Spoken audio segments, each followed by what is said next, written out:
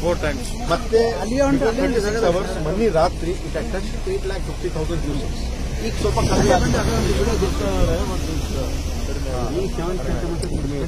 Message ತೋರಿಸ್ನಲ್ಲ Dharam Singh ಸಾಬ್ರ ಪುಣ್ಯ ನೋಡ್ರಿ, ಇಲ್ಲ, ಈ ಮಂದಿ ತಿರುಗಾಡೋದೈತಿ ಅಲ್ಲ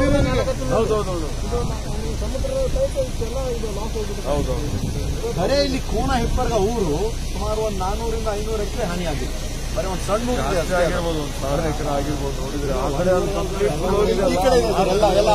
ಆ ಕಡೆ ಇದೆ. ಏನು ತಟ ಇರುತ್ತೆ? ಈ ಕಡೆ.